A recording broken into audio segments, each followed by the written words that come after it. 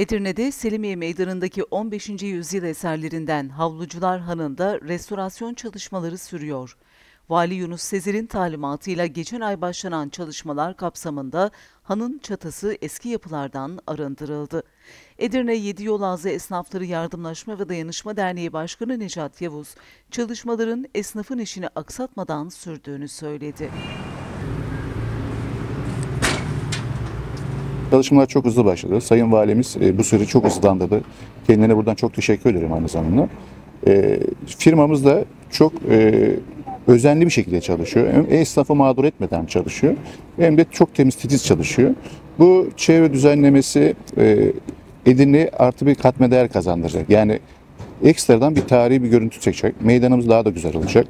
Edirne e, bu tadilattan sonra çok daha güzel bir görsel bir şey kazanacak. Tabii ki şu an e, çatıları, önce çatıları düşün. Çünkü çatılarım çökmüştü daha önce.